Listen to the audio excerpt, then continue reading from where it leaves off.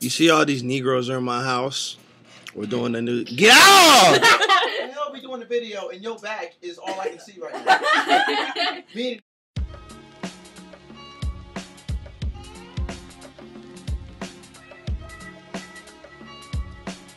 Yo, what's up? This is your man Jéan P. See Weez? And today's topic is called It's Over.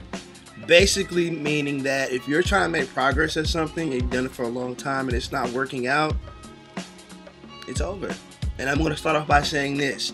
If you're over the age of 25, still playing street basketball or at the community center, and still got NBA dreams, it's over, buddy. You should have thought about that when you were 18 and decided to fail classes in high school.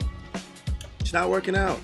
If you are 30 and you're still selling dime bags of weed, um, and you haven't bumped up to, you know, full suitcases, it's over. It's over. It's over. You don't have a drug. You don't have a cartel. You selling high school doses of weed.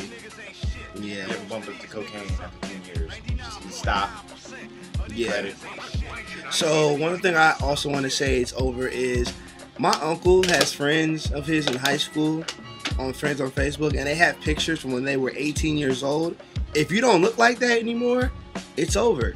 Update your picture and be real with yourself. You may not be secure with the way you look, but that does not mean you have to put a picture from senior year of 1990 as your profile picture on Facebook. It's not. It's over. It's over. At 25, really, if you're still going on dating sites to get women, it's over. It's over. Your Especially life. MySpace. If you still have MySpace, it's, It's over. over. Yeah, it's it's it's done. It, it's over, man.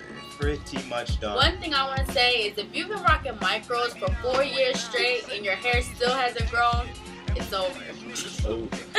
if you still got neck braids after four years, it's a wrap. It's over. Yeah, if you have micros since freshman year, a year or sophomore in college, it's over. If you're trying to grow an afro and that thing's under six centimeters, yeah, it's over. Just cut it off. If you have braids since eighth grade and you're going into the twelfth grade and they're still at your neck, it's over. Woman at 40, it's over. If your roots is mad,